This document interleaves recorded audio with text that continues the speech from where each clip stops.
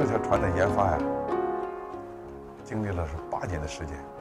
课题的研发到后来的实际建造，历尽了磨难，尤其是在后期的这个建造过程当中，我觉得是心惊肉跳。但是尽管这样，我还觉得挺高兴的，还挺自豪的。就是从咱们手里能够一步一步把这条船从图纸变成了实物，而是变成一个相对性能非常好、功能还非常齐全的这么一条挖泥船，真觉得很自豪。在造天使天牛的时候，那个时候跟荷兰 LDC 也在谈一条。斗轮船的这个这个建造合同，当时大概就差五十万荷兰盾，就荷兰人就一点都不让，他就认为你不买他的你就没办法。实际上当时还真是有点争口气的这种这种这种信念呢，就是没有他们咱也行。但随后我们真的就行了。咱们改革开放啊，带来这种大环境的变化，工业体系慢慢一点一点的增强，所提供的这种支撑，才使得我们有可能或者有能力来设计建造出这样一艘具有世界先进水平的挖泥船。怎么能造好这条船？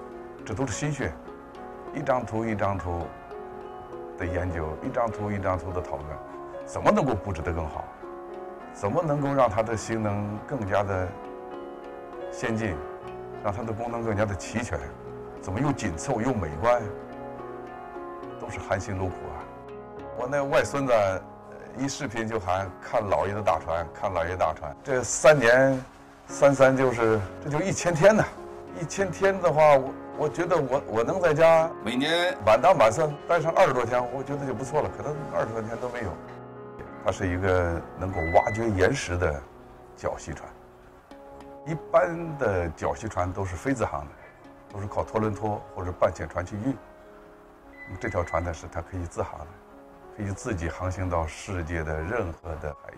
原来我们设计呢，它就是一个小时啊，就是在六千米的这个呃排距挖这种普通的这个疏浚土啊，它每小时能够达到六千方，就是这六千方呢，大概就是一个足球场那么大，就是一米深，一个足球场那么大的。啊，这是我们原设计。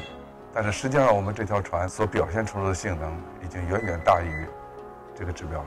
我们还有一个世界上最大的桥架波浪补偿系统，也就是在它风浪和这个涌浪大的情况下，我们这条船还能够施工，而且还不至于受到这个涌浪和海浪的破坏。